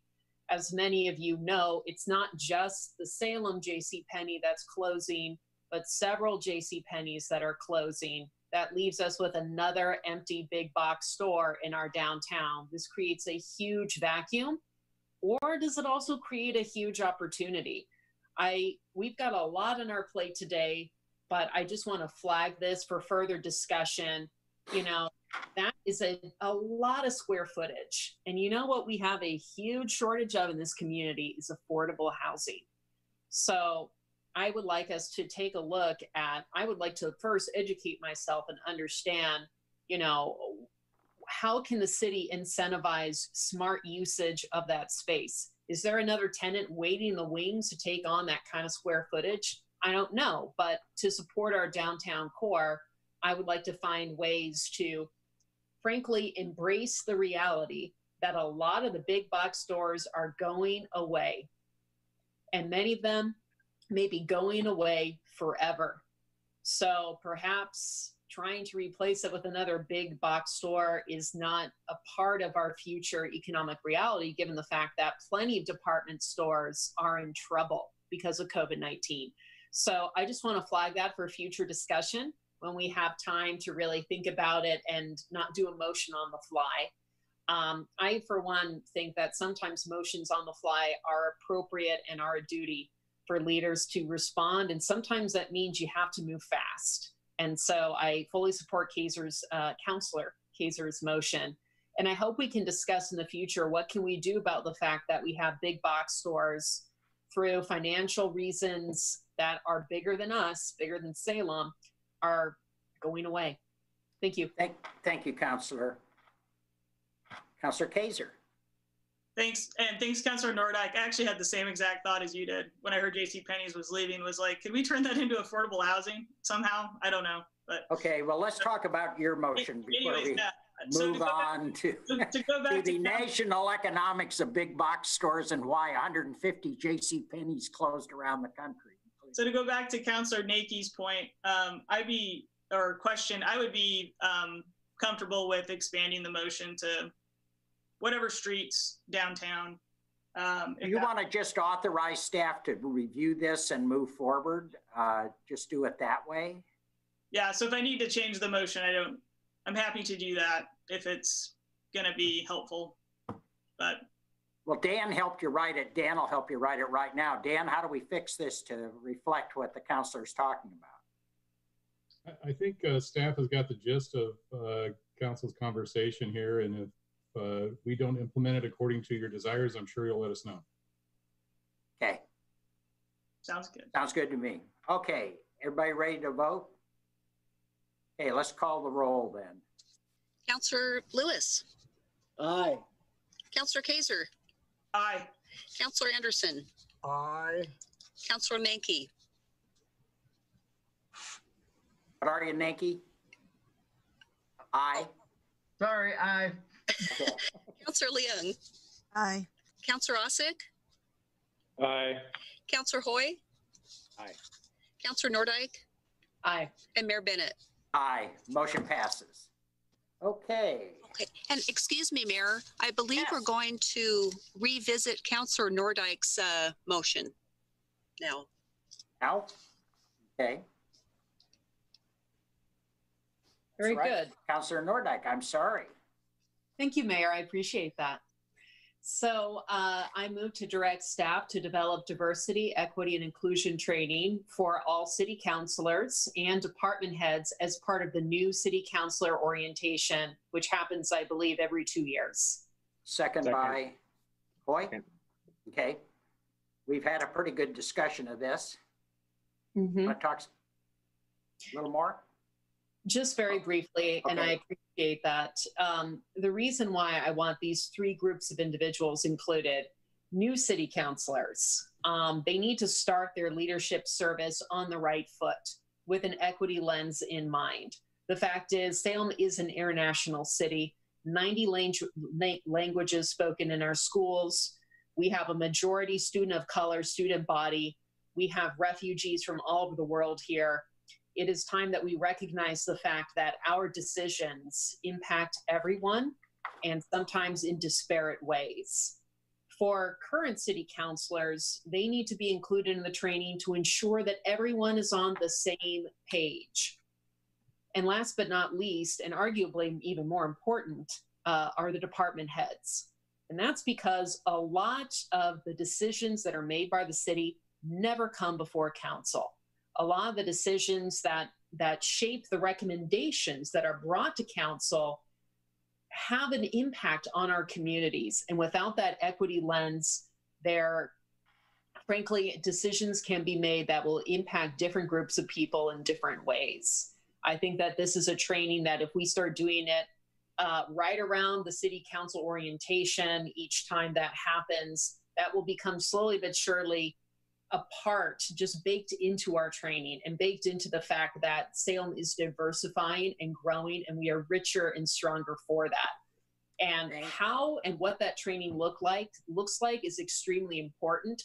And I've already spoken with uh, at least one individual on how to, you know, make sure that that training is actually effective and helpful and is not just plain paying lip service. It's about creating a sense for a need for change. Until you see a need for change, until you understand it, you won't embrace it.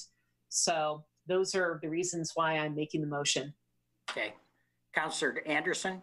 Thank you very much, Mr. Mayor. I fully support this, and I go back again to I saying this is an unusual time. With it, it- it addresses both the issues we're talking about the the George Floyd and also the COVID and the the uh, unequal impact on various communities that are more affected by that. So I think it's a great idea. Okay. Anyone else? Okay, if you'd call the roll. Counselor City- Kaser, Aye. Counselor Andersen, Aye. Counselor Nanke, I, Counselor Leung, Aye. Counselor Ausec, Aye. Counselor Hoy, Aye. Counselor Nordyke, Aye. Counselor Lewis, Aye. and Mayor Bennett. Aye, motion passes. Okay. Now to information reports. If I may, quick, Mr. Mayor, Go. just a, a, a comment on that. And um, we've been going through this in the Watershed Council as well. And I just want to make sure that, and whoever is developing this training, that you look at it from a, a lot of angles. Because from a Watershed Council, when we're doing DEI training, it's not necessarily based on um, different groups the same as what a lot of people think of when they hear of DEI training. And in our case, it's like what impacts or what position inside of the socioeconomic um, watershed council as well. And so it's it's not just um, communities that we might think of uh, in general. And so we can, we can have narrow training or we can have broad based to where we're actually opening people's minds to think about a lot of things. Um, but a lot of the times when people hear of DEI training, it we need to make sure um, we're we're looking at why why do we not have any um, Latino members on our committee, and that may be because we're not offering some means for for children who they typically have accompanied them to meetings as well. Yeah. But from a watershed council, we have truly other diversity pieces on how people may be affected. So I just want to make sure that we we don't narrow narrowly tailor this to such an extent that that we're missing out on on looking at other factions um, that we impact because it's not just based on race or sex or um, nationality as well or social Yeah, I'm, I'm sure uh, there'll be a lot of work done putting these uh, together. I know Councillor Nordyke obviously has strong interest, as do uh, I think every other member of the council. So there'll be a lot of interest, and I'm sure uh, we'll see a, as broad a program as possible. I'm going to move on to information reports. Anyone got any questions on or comments on any of these reports? Councillor Kaser. Thank you. I just wanted to comment quickly on 5.A. This is the YMCA redevelopment. Uh, good to see their their site plan and that uh, site uh, coming coming back to life from the the gravel uh, lot it is now. So uh, looking forward to that, seeing that happen. It- It's really good news for their veterans uh, housing program as well. I think that's that's just really good to see. Anyone else? Councillor Leung? Um, I also wanted to echo um, for for Council, like Councillor Kaser, especially for um, for item 5.a um, for the YMCA plan. I know a lot of community members have been um, anxiously waiting for it to move forward. I mean, I'm a YMCA member too, and I, I really miss being able to go downtown and going to the gym and being around community members that are regulars. I mean, even people who have been members for for years, like sometimes they would they would just sit there and you know it's it's their space, and Yeah. so it's it's it's good to be able to see um, the progress that it's pursuing. Um, I did have one question. Um, I, I can't find the actual report. It's on the mess of my papers all over here now. Um, my question had to do with um, part of the if I so I'm going to go by memory.